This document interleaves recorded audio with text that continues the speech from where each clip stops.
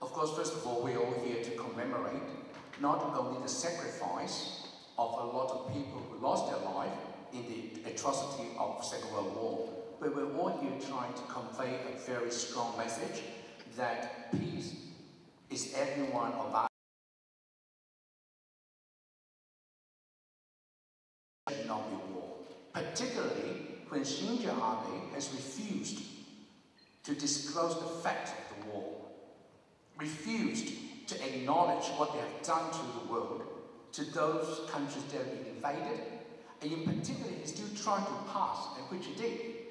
a bill that will allow Japanese to send troops abroad to fight. These are all the things that we want to learn, and these are all the things we want to work together to make sure that we will all be able to retain the peace that we all deserve. 首先在这里呢，非常谢谢呃 我们的呃澳大呃呃中中国驻世的总领事馆，还有呢就是我们的和呃呃澳大利亚中国和平促进会对我的邀请来参加今天的我们的这个呃检讨会，呃这个追思会，也在这里呢谢谢瓦森总领事还有王尚国主席对这次的活动，呃能够提供个这样好的一个机遇，让大家一起来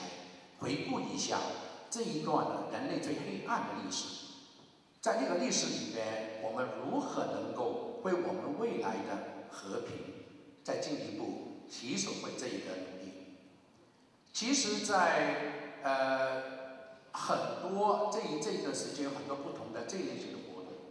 每一个活动都非常有价值去，因为他们都有一个共同的目的，就希望我们能够回顾这一段历史。让大家从这个历史里边去学习，去去去去去返回，去去反思战争对人类所带来的灾害。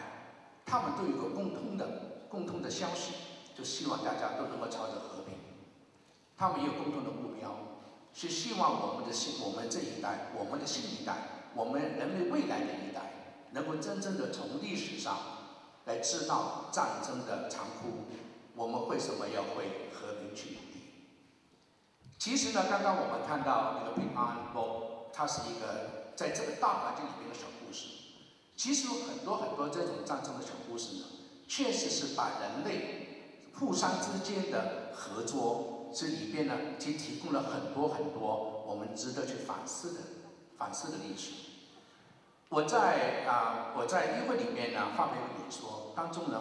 除了提及这个二次大战的一些的事实之外，当中我也提到一点，就其实我们中国在这次二次大战的时候所受到的伤害，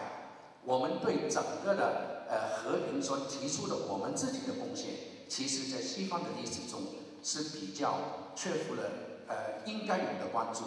所以希望透过像这样子的我们这这这一些的呃会议，能够呢把这个信息呢给它推广出去。让大家都多关注这一方面。